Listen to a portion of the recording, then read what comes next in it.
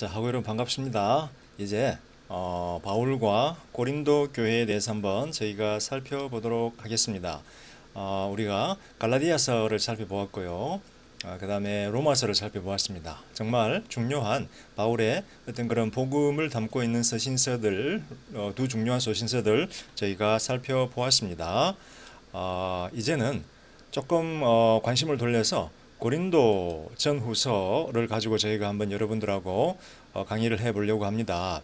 그런데 고린도 전후서는 제가 개인적으로 참 좋아하는 편지예요.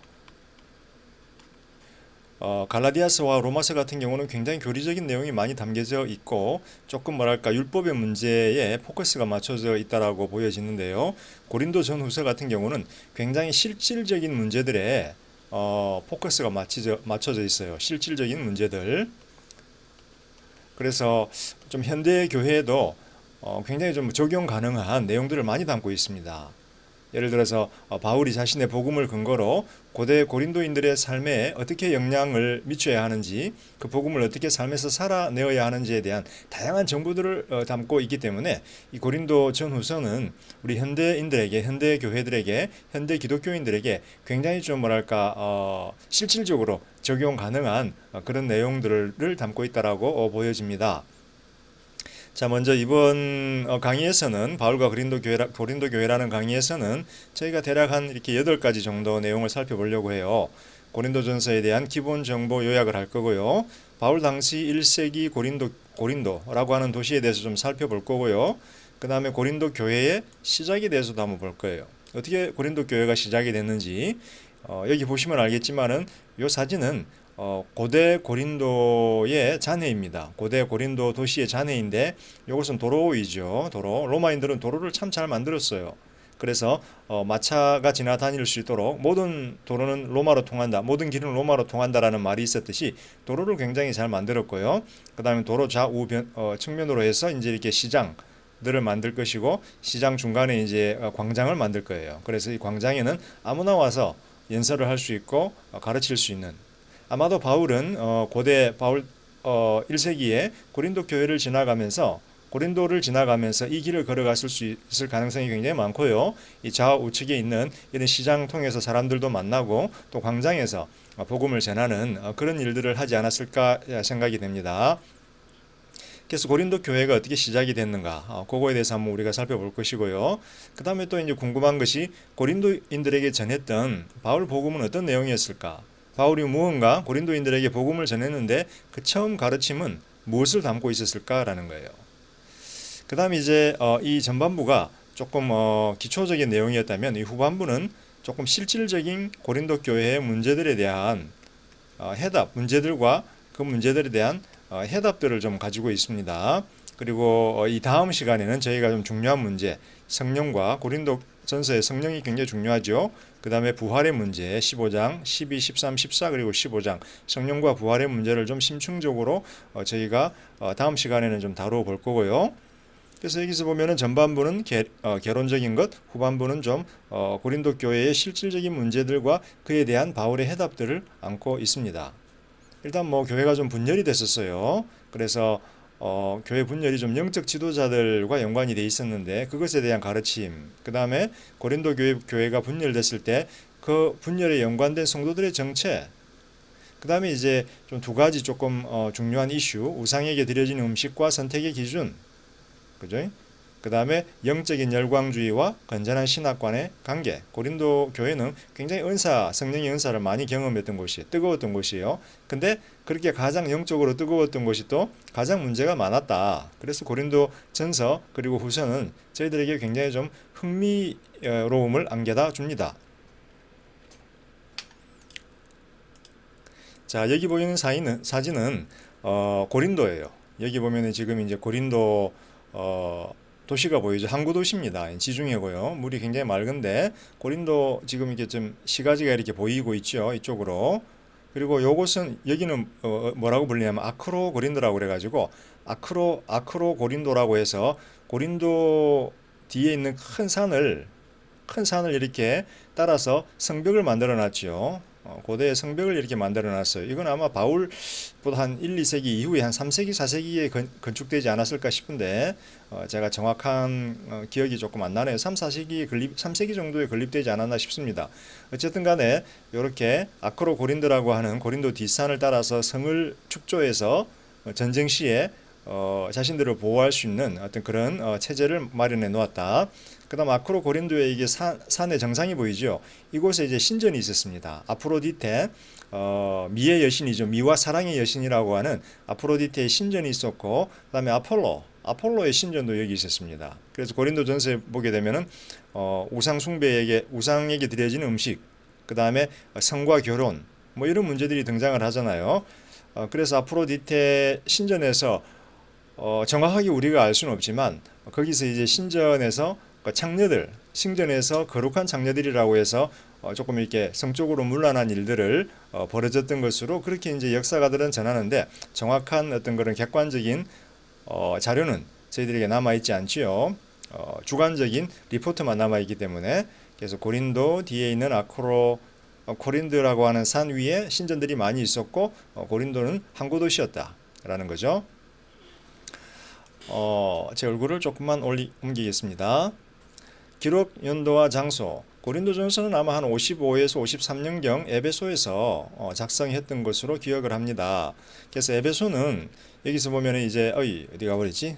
예, 여기 있네요. 바울이 지금 2차 전도 여행이죠. 이, 이 안디옥이 있고 여기 예루살렘이 있는데 바울이 이제 2차 전도 여행을 이렇게 쭉 가서 다소로 간 다음에 갈라디아 지역을 지나가고 어, 그 다음에 여기 어, 빌립보 그 다음에 어딘가요? 빌립보 데살로니가 그 다음에 아테네, 그 다음에 고린도로 왔죠. 그래서 고린도에서 교회를 세우고 어, 교회를 세운 다음에 거기 지역 지도자들에게 고린도 교회를 맡기고 이제 에베소로 갔습니다. 그래서 고린도가 여기에 있고요. 에베소가 여기에 있는데 그래서 에베소에 어, 머무는 동안에 어, 바울이 고린도 교회의 문제에 대해서 듣게 되죠. 그래서 이제 편지를 어, 쓰게 된 것입니다.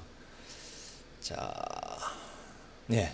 그래서 55, 53년경 에베소에서 작성했던 것으로 보여진다.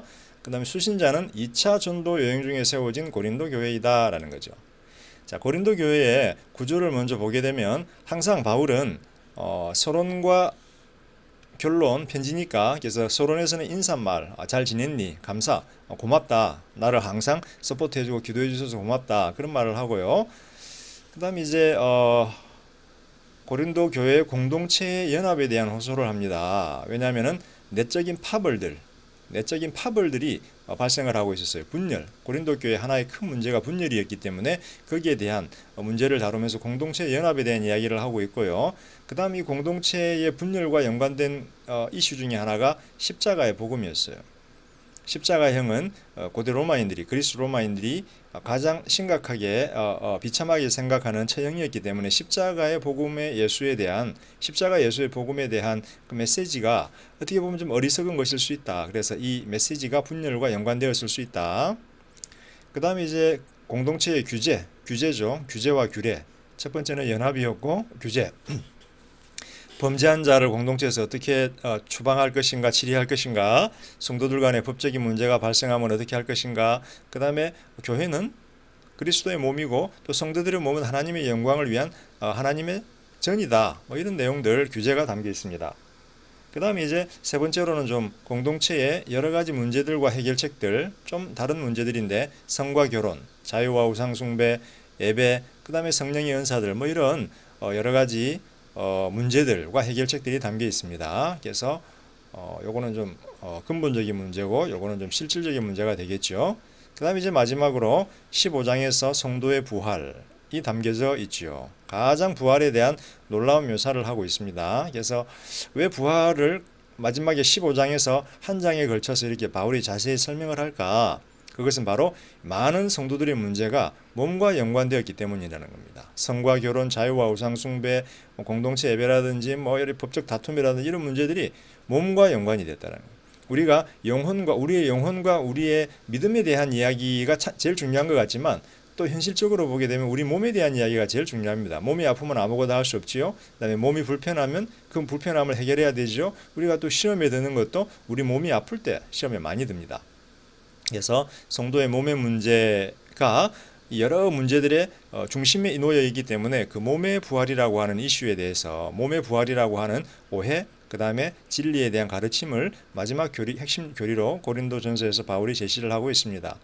그래서 이 부분에 대해서 우리가 어, 자세히 여러 이슈들을 2주에 어, 걸쳐서 한번 살펴보려고 합니다. 그리고 결론부에서는 항상 바울은 어, 인사를 하죠. 누구 누구에게 인사하고 격려하고 그 다음에 이제 어, 자기의 방문 소식에 대해서도 이야기를 어, 전달하게 됩니다.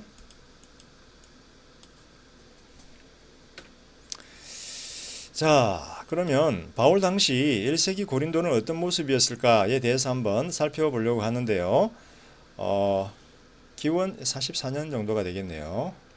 기원전 146년경에 어, 아, BC 이게 BC죠. BC 기원전 146년경에 로마인들이 고린도를 점령을 해버려요. 이게 좀 그리스 그 당시 아케아 지방이고 현재는 그리스인데 로마는 이쪽에 이태리 있는 이쪽에 있거든요. 로마인들이 어, 기원전 어, 146년경에 지중해를 어, 통폐합을 하면서 고린도를 점령을 합니다. 고린도가 이 어, 그리스 남부 아키아 지역의 어, 주도였기 때문에 그래서 완전히 파괴를 시켜버려요.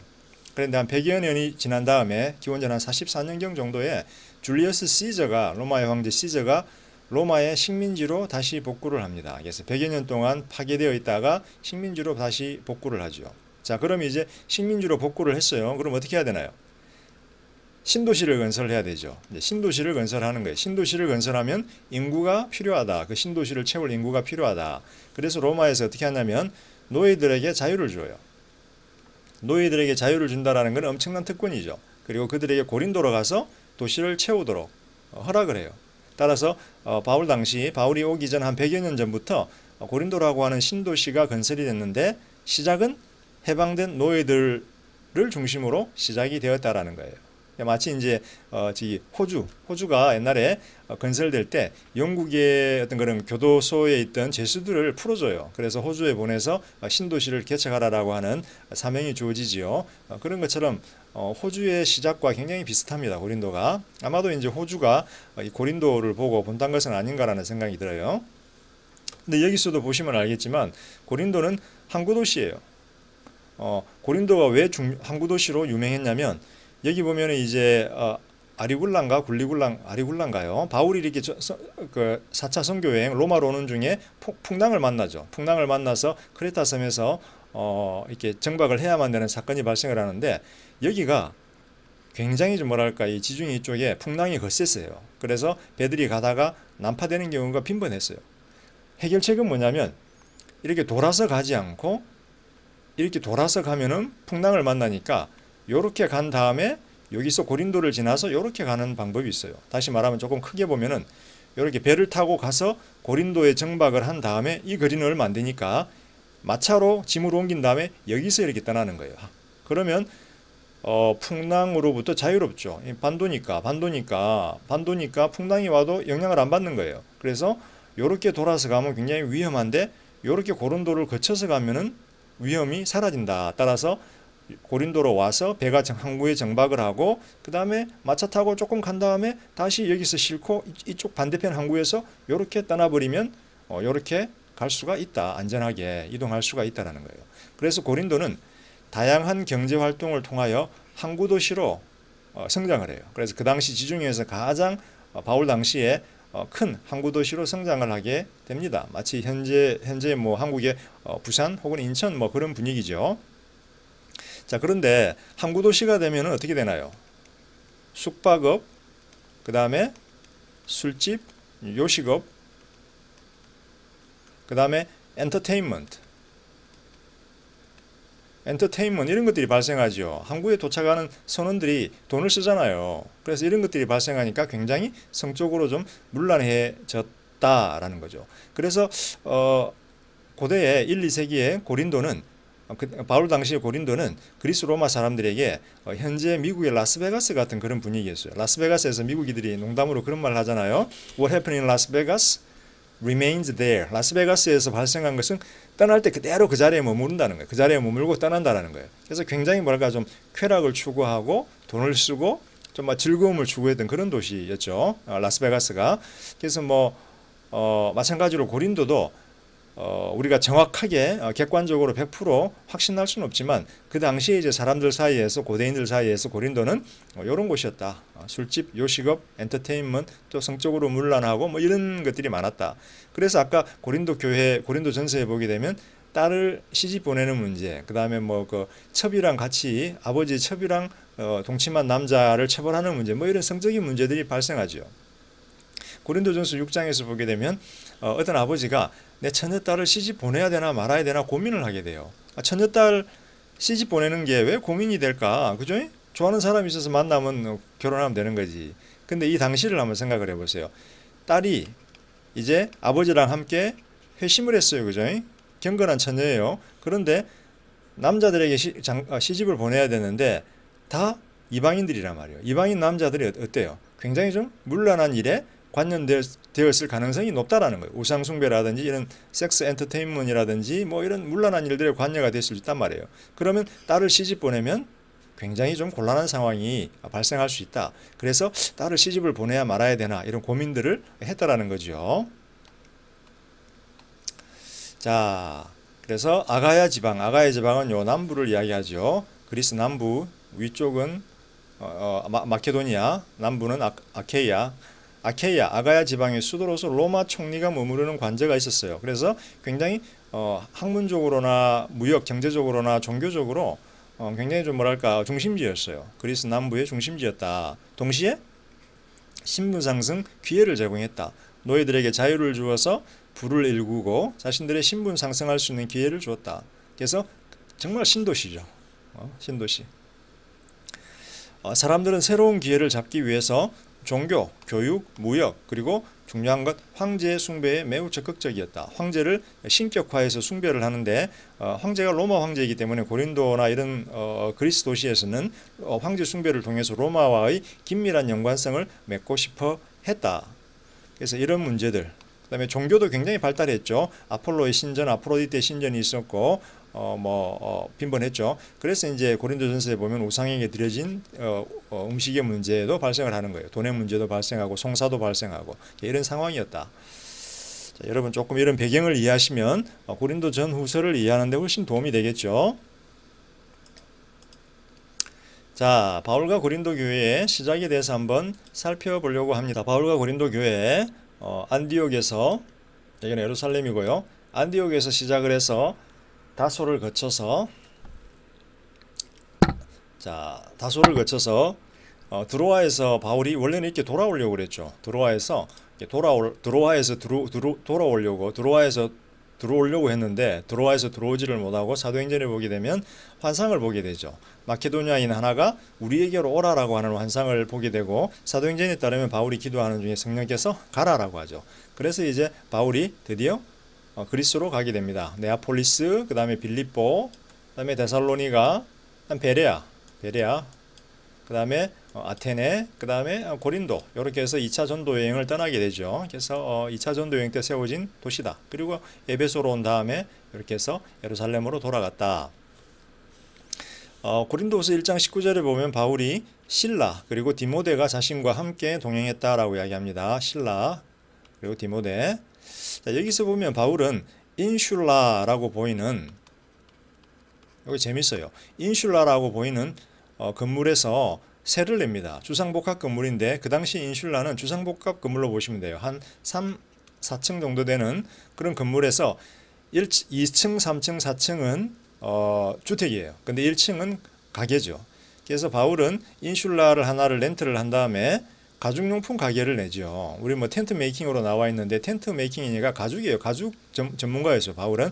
그래서 어, 가죽을 고치러 가죽을 낮에는 이제 가죽을 고치면서 돈을 벌고 주말에나 이럴 때 밤에는 나가서 이제 어, 아까 그 광장 같은 데서 어, 복음을 선포하고 그랬죠.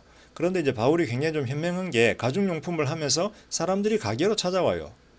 그러면 어 뭐 예약을 하고 현대처럼 예약을 하고 맡겨놓고 언제 올게요 뭐 이런 것보다도 그냥 와서 고쳐질 때까지 있다 가지고 가는 거예요. 그럼 그동안 어떻게 하나요? 대화를 하죠 대화 이야기를 하는 거예요. 그런데 가죽용품의 물건을 고치러 온 사람들은 어떤가요?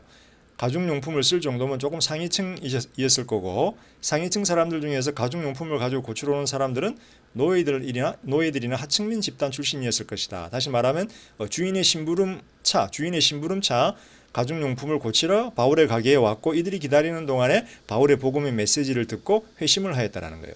그래서 바울이 고린도전서 초반부 1장에 보게 되면 너희들을 봐라. 너희 자신들을 보면 너희가 잘 배운 사람도 별로 없고 부자도 별로 없고 너희가 다 조금 뭐랄까 어, 인간적인 관점에서 보면 별 볼 일 없는 사람들이다.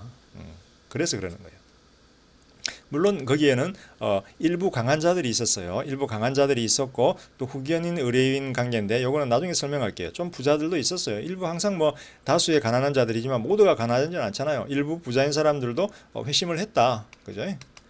근데 재밌는 거는 사도행전 18장에 보게 되면 바울이 고린도로 갔는데 거기에 두 사람이 있었어요. 아굴라와 브리스길라가 유대인이죠. 이 사람들 알렉산드리아 어, 로마에서 아마도 로마에서 그 어, 뭐죠 그 어, 에피큐리안, 에피큐리안이 아니죠. 어, 아, 로마 황제 클라우디우스 칙령에 의해서 48년경에 로마에서 유대인들이 다 추방을 당하죠. 그때 아마 추방당했던 것 같아요. 아골라와 브리스길라도. 그리고 나서 이제 추방당한 다음에 고린도에 와서 복음을 전하고 있던 사람들이에요. 그래서 사도행전을 보게 되면 바울이 이들과 함께 고린도에서 선교 사역을 진행을 하게 됩니다. 자, 그러면 어, 바울이 고린도전서를 작성한 동기는 어떻게 될까요? 자, 동기는 바울이 에베소에 머물고 있었어요. 3차 뭐 전도 여행 때도 에베소에 머물렀는데 이땐지 아니면 3차 전도 여행 때인지 아마 3차 전도 여행 때인 것 같아요. 그죠? 에베소에 머물고 있던 중에 바울이 방문을 받습니다. 어떤 방문을 받냐면 클로에 사람들, 클로에 사람들이 와요. 그리고 고린도 교회 소식을 전해줘요. 클로에는 여자인데 굉장히 좀 클로에 사람들이라고 하는 거 보니까 클로에 집안의 사람들, 즉 뭐 종이나 뭐 그런 사람들이 아니었을까, 일꾼들 아니었을까 싶어요. 그래서 클로에는 바울을 도와 고린도 사역에 열심을 내었던 어, 과부였던 것 같아요. 남편의 이름이 언급이 안 되는 거 보니까 과부였던 것 같고 어느 정도의 부가 있었던 부유한 사람, 다시 말하면 좀 이렇게 어, 후원했던 사람 같아요, 그죠? 권사님처럼 좀 어, 부유한 권사님으로서 신앙이 좋고 그래서 바울을 도왔고 후원했고 어, 선교 사역에 열심히 했던 클로에가 사람들을 보내요 바울한테 왜 고린도 교회가 지금은 심각한 문제를 안고 있다라는 거예요. 동시에 어, 16장 15, 18절에 보게 되면 고린도 교회에서 또 편지를 보내요. 스데바나하고 부느다, 부느, 부드나도 그리고 아가이고를 어, 보내서 바울에게 편지를 보내요 고린도 교회에서. 그래서 바울은 어, 클로의 사람들을 통해서 고린도 교회 소식을 듣게 되고 고린도 교회에서 보낸 편지를 통해서 고린도 교회 문제들에 대해서 적 게 돼요. 그리고 바울은 알게 되죠. 이 둘을 통해서 고린도 교회가 현재 수많은 문제들에 직면해 있다라고 하는 것을 알게 되죠. 자, 창립자인데 떠나 있는 동안에 교회에 심각한 문제가 있으니 얼마나 마음이 답답했겠어요. 그래서 바울은 고린도 전서를 어, 기록을 하죠. 거기에 보면 이제 영적인 지도자들을 따르는 분파들, 성도들의 불협화음, 우상 숭배에게 드려진 재물, 각종 부도덕한 행위들, 영적인 은사들과 무질서한 공동체 예배 이런 뭐 다양한 문제들이 있는 거예요. 이제 하나하나 바울이 설명을 하면서 그 편지대로 어, 설명을 하면서 자신의 전설을 고린도전서 편지를 어, 기록하게 되죠. 그래서 여러분들이 고린도전서를 읽게 되면 바울이 그런 말 하잖아요. 너희들이 기록한 그 문제 혹은 너희들이 내게 제기한 그 문제에 대해서 내가 이 문제에 대해서 내가 이렇게 말하고 싶다 혹은 뭐 주님이 이렇게 가르치셨다라고 하면서 그 문제들을 지적을 하면서 어, 바울이 가르칩니다. 다시 말하면 고린도전서는 바울에게 보내어진 고린도인들의 편지에 대한 반응을 담고 있다라는 거예요. 그죠? 어, 여기서 바울이 고린도인들에게 전한 복음은 어떤 내용을 담고 있었을까에 대해서 한번 어, 질문을 해 보아야 합니다. 자, 먼저 어, 두 군데 본문을 제가 보아야 하는데요. 고린도전서 8장 5절 6절하고 고린도전서 15장 3절 4절. 물론 이제 어, 또 고린도전서 1장이 있습니다. 1장에 보면 십자가에 대한 내용이 나오는데 이 세 본문에서 바울이 자신의 복음을 설명을 하고 있는데 어, 일단은 어, 이 부분이 제일 중요하죠. 이 부분이 제일 중요한데 어, 그에 앞서서 어, 이 부분 8, 5, 6절도 한번 신조, 요것도 신조의 형태로 요약되어 있거든요. 그래서 요거를 한번 설명을 해야 됩니다. 자, 일단 바울은 첫 번째 그들에게 전했던 복음 하나님에 대한 이야기인데요. 일단 어, 다양한 종교, 다종교 사회였다. 그죠? 고린도는 다 종교 사회였다. 다양한 종교 그리고 이방의 신들 여러 신들을 모시고 살았다. 여러분 호모 보면은 뭐 아폴로, 제우스, 아프로디테, 그다음에 포세이돈 뭐 신들이 굉장히 많잖아요. 그런데 그에 반하여 세상에는 창조주 하나님은 한 분밖에 안 계신다. 창조주 하나님은 한 분이시다. 그리고 그의 아들 주 예수 한 분이다. 요 내용이 지금 바울의 복음의 가장 핵심적인 내용이었습니다. 한 분 하나님, 창조주 하나님, 한 분 주 예수. 물론 이 어, 다종교 사회 사람들에게 어, 창조주 한 분 계시고 아들 한 분 계셔라고 하는 메시지는 어, 정말 좀 받아들이기 쉽지 않았겠죠, 그죠? 그 다음에 더 놀라운 거는 이제 이 주 예수가 누구냐면 십자가에 달린 분이다라는 거예요. 십자가에서 처형당한 분이다라는 거예요. 그러니까 1급 사형수로 사형당한 사람이 바로 신이었고 하나님의 아들이었고 메시아였다라는 거예요. 이 두 가지 이 두 가지 메시지는 정말 어, 고린도인들이 로마인들이 받아들이기 쉽지 않은 충격적인 메시지지요. 그래서 고린도전서 8장 5절 6절에 바울이 이렇게 이야기합니다. 비록 하늘에나 땅에나 신이라 불리는 자가 있어 많은 신이 있고 많은 주가 있다. 너네들이 그렇게 주장한다. 그런데 우리에게는 즉 우리 믿는 성도들에게는 한 하나님이 계신다. 한 하나님 아버지가 계시는데 그분이 누구냐면 만물이 그에게서 났고 우리도 그를 위하여 있다. 여기서 우리는 어, ecclesiological we 해서 성도들을 의미합니다. 성도들 혹은 교회. 그래서 보면은 우리에게는 한 하나님 아버지가 계시다라는 거예요. 그래서 만물이 그에게서 났고 우리도 그를 위하여 있다. 이 한 하나님이 바로 창조주시다라는 거죠. 그 다음에 이분 외에 한 주 예수 그리스도가 계시다라는 거예요. 그래서 만물이 그로 말미암았고 아까 창조를 하신 분은 하나님이신데 창조의 동력자였다라는 거죠. 창조의 동력자. 그로 말미암고니까 예수님이 창조의 동력자였고 우리도 그로 말미암아 존재한다라는 거예요. 그래서 바울이 전했던 복음의 첫 번째 메시지는 요겁니다. 한 하나님, 한 주 예수 그리스도, 하나님은 창조주, 만물의 기원이시고 예수는 창조의 동력자, 어, 창조에서 하나님과 동행하셨던 분이시다라는 거죠. 그죠? 말씀으로 창조하셨으니까. 자, 이 내용이 첫 번째 바울이 전했던 복음의 첫 번째 메시지입니다. 근데 좀 더 자세한 내용은 고린도전서 15장 1, 4절에서 이렇게 표현이 되고 있는데 이 부분에 대해서는 이제 다음 강의에서 여러분들하고 자세히 한번 살펴보도록 하겠습니다. 여러분 잠시 후에 뵙겠습니다.